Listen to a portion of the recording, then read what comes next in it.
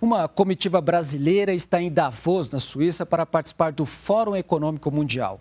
Os ministros estão apresentando as iniciativas do país sobre clima, natureza e energia, além de ações na área da saúde. A ministra Nízia Trindade falou sobre os efeitos das mudanças do clima sobre a saúde da população, principalmente os que vivem em vulnerabilidade social. Esses impactos têm sido amplos e graves no país.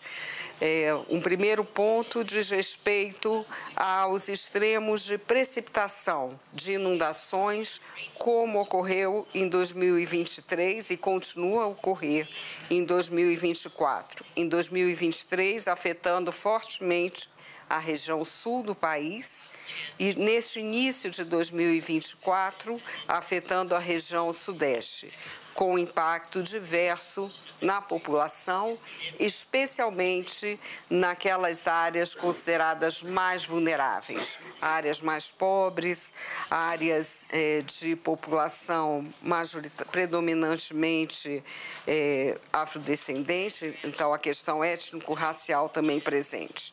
Ao, ao mesmo tempo, vivemos uma seca extrema na região amazônica, Todos esses fatores levaram a impacto diverso na saúde: interrupção de serviços é, essenciais, é, impacto na, no aumento de doenças é, é, que são transmitidas pela água, por exemplo, é, impacto na destruição de algumas unidades de saúde, ou seja, um impacto importante e diverso. Nízia Trindade explicou as ações do governo brasileiro para minimizar os impactos das mudanças do clima sobre a população. É um quadro que requer uma visão é, de adaptação, de mitigação, mas também de transformação é, no processo socioeconômico e de desenvolvimento em geral. Estamos trabalhando no aumento da capacidade adaptativa e de mitigação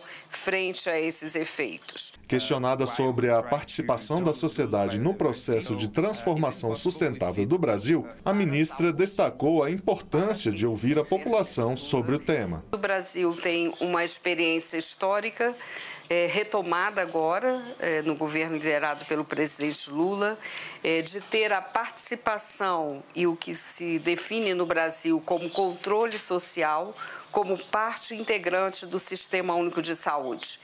E é, essa experiência histórica de mais de 30 anos é, que se expressa em Conselho Nacional de Saúde e conselhos locais.